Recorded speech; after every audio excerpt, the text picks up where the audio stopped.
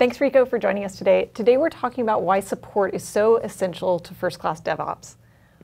Let's start with, in small companies, why is support essential for first-class DevOps? I'm glad you asked. So our experience has been with small organizations that usually you have one individual or a couple of individuals who wear a lot of hats. The end result of this is they're not necessarily specialized in any one thing. They're very good at what they do overall, but because they lack specialized skills or exposure to very specific topics, they can't always get, the get to the bottom of the problem in a timely manner.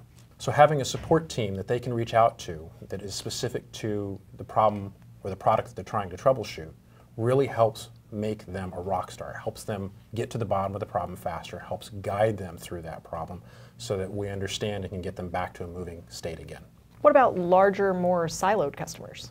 Large organizations are a totally different beast with kind of a similar problem in the sense that a lot of times you have these teams that are highly segregated. And by that I mean you have a group that's dedicated to database support or another group that's dedicated to network support. End result, they all own their pieces, but they don't necessarily understand how those pieces play well together. And so when you get into a problem, if you don't have somebody who owns the product, knows the product, a lot of times there's nobody there to take and guide them through how do you get to the bottom of the problem. So when we're talking about support being so key to having a first-class DevOps group, what are the key points in, I guess, analyzing a problem and helping a DevOps group work through it?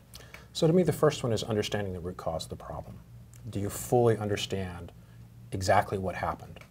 The second one is how to prevent that problem again. And then the third one, if for some odd reason you choose not to come up with a final solution to the problem, do you understand the business risk associated with that? Do you have the information necessary to make a business decision about why you're not going to come up with a final solution or a long-term solution to that problem? So really helping these super agile teams and supporting them in the back. Yes, that's exactly right. Well, thanks, Rico, for joining us today and talking about first class DevOps and support. Thank you for having me.